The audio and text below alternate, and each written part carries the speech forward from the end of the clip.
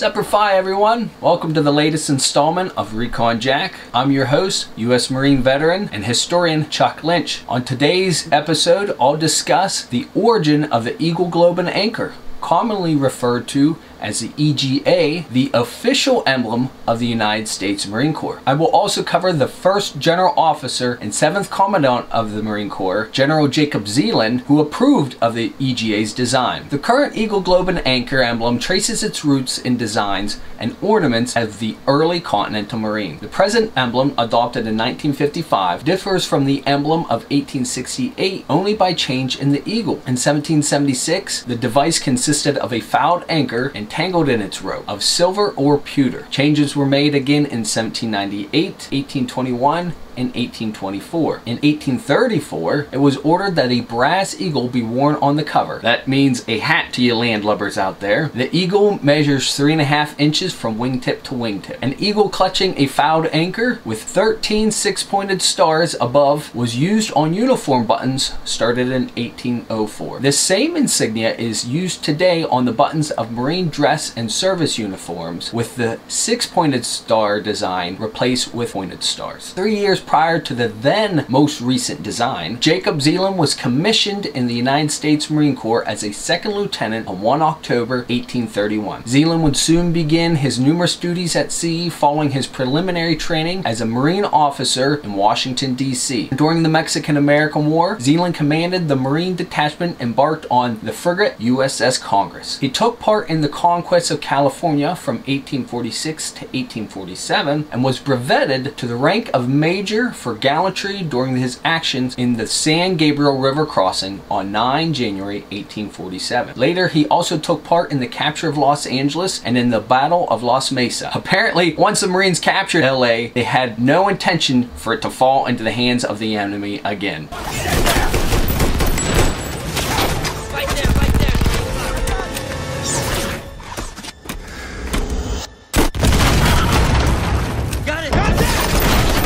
After the close of the war with Mexico, Zeilin proceeded to Norfolk, Virginia, where he served for a time, then to New York, where he remained until June 1852. He was selected to accompany Commodore Matthew C. Perry.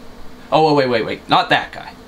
This guy as a fleet marine officer in the famous expedition to Japan, serving with the Marine Detachment on board USS Mississippi, on which he cruised in Japan with the expedition. He was the second person to set foot on shore at the formal landing of the naval forces in Japan in 14 July 1853. During the early years of the Marine Corps leading up to the current design of the EGA, distinguishing marks were authorized which included black cockades, scarlet plumes, and yellow bands and tassels. In 1858, the first version of the present color scheme for the officer's dress uniform insignia appeared on an elaborate device of solid white metal and yellow metal. The design included a United States shield, half wreath, a bugle, and the letter M. On 21 July 1861, recently promoted Major Zeilin commanded a company of U.S. Marines during the First Battle of Bull Run, where he was receiving a minor wound. In 1863, Zeilin was given command of the battalion of U.S. Marines sent to support the naval force whose mission was to capture Charleston, South Carolina. However, due to an illness, he returned after a few weeks of his duty to garrison at Marine Marine Barracks, Portsmouth, New Hampshire. On 10 June 1864, he was appointed Commandant of the Marine Corps in the rank of Colonel. His faithful and efficient performance of the duties of Commandant during the trying period of the last year of the American Civil War and those years immediately following the war is evidenced by the fact that he was promoted to the rank of Brigadier General on 2 March 1867. Upon his promotion, he became the Marine Corps' first general officer.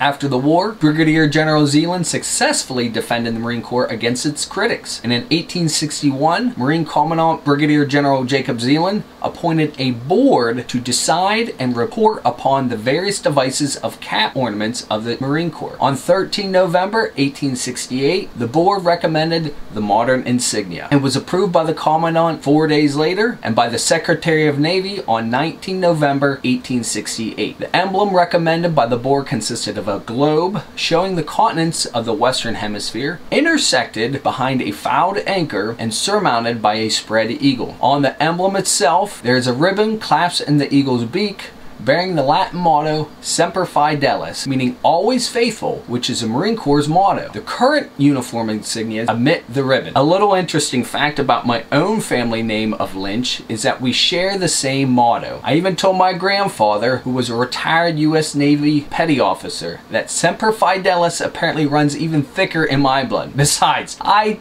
dare you to deny just how handsome I looked in my dress blue uniform. The globe on the U.S. Marine emblem signifies the Corps' readiness to service in any part of the world. The eagle represents the United States as it was selected in 1782 as our national bird for its long life and great strength. The anchor, which dates back to the founding of the Corps in 1775, acknowledges the naval tradition of the United States Marines and their continual service to the Department of the Navy. There are some differences between the uniform insignia for enlisted Marines and that of officers. The enlisted Marines dress blue uniform insignia is a die struck from a single sheet of brass and anodized a gold color. The service emblem insignia is coated a flat black color for both officers and enlisted. The officer's insignia is assembled from four parts, a die-struck silver colored globe with eagle and a gold colored anchor with silver colored fouling type and gold colored continent. Now one of my first platoon leaders had actually told me that his wife preferred the dress blue uniform of the enlisted men over the officers. My then platoon commander was actually a prior enlisted Mustang Marine officer who actually enjoyed the appearance of the enlisted EGA over the officers because it actually does not omit